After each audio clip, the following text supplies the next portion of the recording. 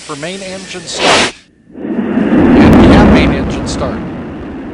Two, one. Booster ignition and liftoff of Discovery, celebrating its 25th birthday by racking up science and supplies to the space station.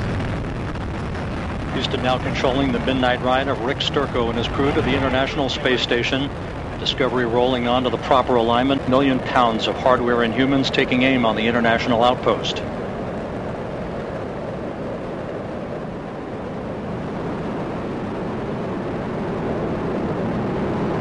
32 seconds into the flight.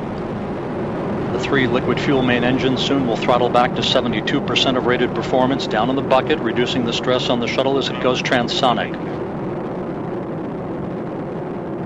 Discovery three and a half miles in altitude, four miles downrange from the Kennedy Space Center.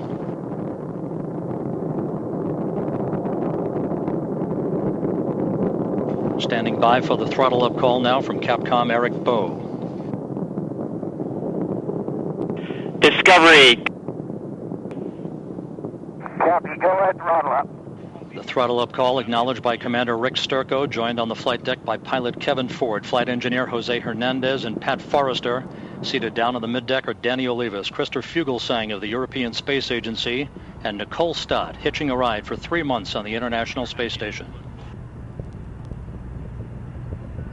One minute, 30 seconds into the flight,